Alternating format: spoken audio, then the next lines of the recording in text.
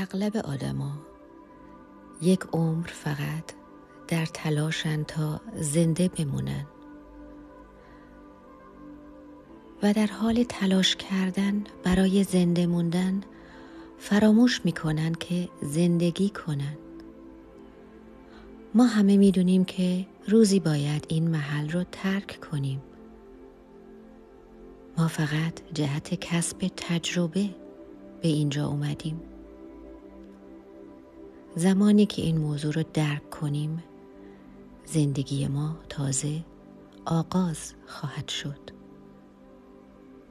زندگی کنید.